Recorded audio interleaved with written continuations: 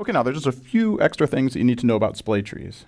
And the first is that it's a self-balancing tree, which means that if we insert nodes in sorted order, normally in a binary search tree, that would cause us to build a tree that looks something like this. And so as you can see, this is a very bad kind of a binary search tree because here, to do a lookup, we're going to have to walk all of the nodes in a tree, and we've lost this nice logarithmic property that made lookups, inserts, and deletes extremely fast. The way a self-balancing binary search tree works is as you add elements to the tree, it has some sort of a balancing procedure that keeps the thing approximately balanced so the tree operations remain very fast. And if you look at the literature, it turns out there are tons and tons of different data structures that offer self-balancing binary search trees. And the fast ones of these end up being somewhat complicated. And a splay tree is really one of the simplest examples of a self-balancing binary search tree. And the implementation that we're going to look at in a minute contains something like 100 lines of code. So the other thing you need to know about splay trees before we get, into the code is it has the really cool property that when we access a node, so let's say we do a lookup of this node here, which contains 7, what's going to happen is as a side effect of the lookup, that node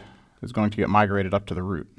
And then whatever was previously at the root is going to be pushed down and possibly some sort of a balancing operation is going to happen. But the point is, is that frequently accessed elements end up being pushed towards the root of the tree, and therefore future accesses to those elements become even faster. So this is sort of a really nifty feature of the splay tree. So what we're going to do now is look at an open source Python splay tree. It's basically a random data structure that I found on the web, and it happens to implement a splay tree. It comes with its own test suite, and we're going to look at what kind of code coverage that this test suite gets on the splay tree.